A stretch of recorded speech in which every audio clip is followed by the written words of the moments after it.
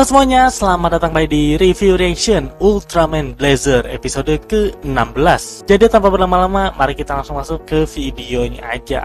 Let's go. Kota Fujijaki, distrik Ochanijaki Oh, apa nih? Kayak masuk ke dalam tanah gitu? Buset, gede. Oh ya gede juga ya lubang yang dibuat. Sarang tikus tanah katanya. Lagi neliti lubang ini kan. Mendeteksi kehidupan raksasa tetapi mati oleh gelombang elektromagnetik kuat kami mewawancari saksi seekor burung. Oh kaijunya. Ih, keren sih. Matanya menyala dan tangannya menggapai ke arah kami. Lah kok? Uh, gambaran orang-orangnya beda coy. Ini kalah jengking sekarang. Buset sekarang gurita. What the hell? Ini gambar berdasarkan kesaksian mereka. Ah kayak ngefusion semuanya jir kita harus melihatnya sendiri hampir selesai bukan Earthgaronnya egois uh lagi di upgrade sesuatu lagi coy Earthgaronnya pendeteksi gas darurat oh mau ngecek gas bawah tanahnya itu beracun atau enggak oke udah mulai ngecek dan pas dicek hasilnya nggak ada racun what the hell apa tuh cahaya-cahaya Oke, sekarang apa yang dia lihat? Langsung kayak ketakutan gitu cuy. Merah, hitam, dan memuakan. Itu sangat mirip kue kacang. What? Hah? Hah? Kue kacang yang dia katakan. Udah gambar kayaknya aneh. Terus ada info baru yang aneh. Wakil kapten kayak benci kue kacang bukan? Oh, jangan-jangan marah ngeluarin apa yang dibenci. Cerita saksi tentang kaiji itu semuanya berbeda. Ada satu kesamaan, yaitu mereka melihat yang paling mereka benci. Gila, Andri, keren banget sih analisisnya. Oke, sekarang, wow, sinar-sinar ini lagi apa lagi? Wow, lah dia lagi. Kalau Gentong lihat apa nih? Melihat Earth Garon rusak. Si Gento coba untuk sadar. Oh, semacam Mogura gitu ya.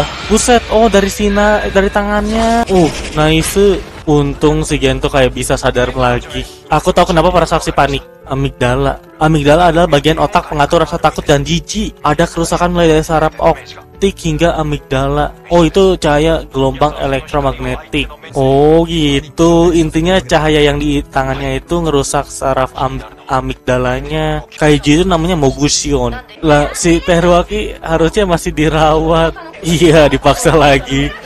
Lah, Andri lah Yasunobu juga. Mogusion Kaiju penglihatan si Emi disuruh ngendaliin Earth Garon coy sendirian. Bisa kita pakai egois sistem suara interaktif kecerdasan buatan. Oke ini si Andri eh Andri Emi udah ada di dalam Earth Garonnya nih. Kumohon tenanglah Emi. What? Suara Edgaron jir kita belum pernah bicara tapi aku sangat mengenal kalian aku bukan pilot andal seperti Andri atau Yasunobu gak usah khawatir aku bersamamu anjay let's go Jangan dilihat kalau ada serangan cahaya katanya. Kau tak apa setelah melihat cahaya itu? Anjay, alasannya karena gue udah sering banyak ngelaluin rasa takut. Anjir ini scene-nya keren sih. Oh, langsung mantulin cahayanya. Wah, anjay, langsung ditabrak sama Earth Garon. Gak boleh ngelihat sinar cahayanya kan. Oke, sekarang apa nih yang dilihat sama Emi? Lah, ngelihat dirinya sendiri. Wow, menarik nih. Wow, digebuk-gebukin Earth Garonnya. Wow, udah lama kita nggak ngeliat Ultraman berdoa, cuy. Buset, langsung pakai apa nih? Oh, yang Magatama. Anjay, dibalikin, bro. Buset. Oke, okay. anjir. Oh, aduh. Wah, langsung tutup mata. Tapi jadi gampang diserang. Wajir, tangannya panjang. Buset. Oke. Okay. Ini gerakan battlenya entah kenapa kayak cepet loh gue suka wow what the hell bagian kepalanya bisa gerak Blazer lagi lawan Emi bro Oh Tapi kenapa si Emi bisa ngebayangin hal itu ya? Bisa dilihat tuh dari bola matanya udah kayak hampir mau nangis cuy Jangan kalah dengan ilusi Kita Dia suruh bilang jangan takut tapi kita juga takut Let's go Ada teman-temannya yang tetap mencoba untuk menyemangati What the hell Oke, ilusinya perlahan mulai menghilang. Let's go Garonnya akhirnya. Oh, udah sampai merah-merah, cuy. Harus ngapain ini Blazer? Masa bertarungnya begini terus? Oh, matanya lagi dipejamin. Pakai insting belajar eh bertarungnya. Suara mau manfaatin suara makanya si Mogusionnya juga jadi pelan-pelan. Oh shit, nice. Tapi Mogusionnya juga pinter loh. Oke, akhirnya buka lagi matanya. Oh itu yang pedang ya. Nice. Wow shit keren. Wah anjir keren. Ditahan gini. Oh sambil di charge coy. Anjay, tebas jarak deket gitu. Buset. Anjir, langsung hancur. Terima kasih Arti. Ini mau nyoba ditambal ya, buset. Sebanyak itu cuy. Apa yang paling kau takuti, Kapten Gento? Gagal dalam operasi yang paling kutakuti. Kalau kau, aku rahasia what the hell. Orang pertama yang bicara dengan Earth seharusnya aku. Arti, iya. Siapa yang beritahu? Dan ya, itu dia reaction untuk episode 16 dari Ultraman Blazer. Seriusan, episode ini kalau buat gue sih seru banget ya. Kaiju di episode ini tuh namanya Mogurion atau ya Moguro. Moguro tuh apa ya?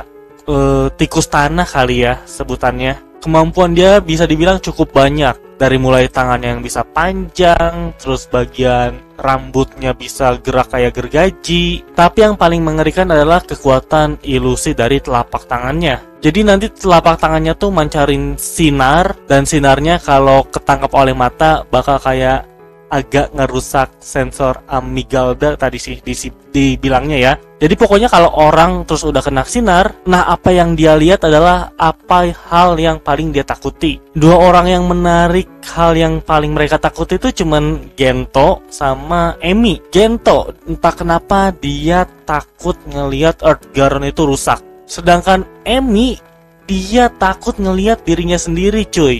Ini menarik banget sih karena ya bisa dibilang bakal jadi sebuah rahasia baru juga. Kenapa bisa seorang Emmy, seseorang yang sangat kalem, terus suka berpikir cepat, tapi dia malah takut sama dirinya sendiri. Gue cukup yakin kalau di episode-episode ke depan bakal ada ngebahas tentang masa lalunya Emmy sih. Berikutnya itu Earth Garon dapat upgradean baru yaitu kayak dipasang sistem yang namanya egois. Simpelnya adalah si Earth Garon ini jadi bisa hidup. Jadi kayak ada kesadaran kesadaran buat berkomunikasi sih bukan buat gerak ya kalau buat gerak masih butuh pilot tapi kali ini si Earth Garon tuh kayak ya bisa berkomunikasi sama orang lain. Itu cukup gokil sih menurut gua. Dan iya kayaknya cukup segitu aja kali untuk review episode 16 dari series Ultraman Blazer. Sekali lagi terima kasih banyak buat yang udah menonton dan sampai berjumpa di video-video berikutnya. Bye bye ciao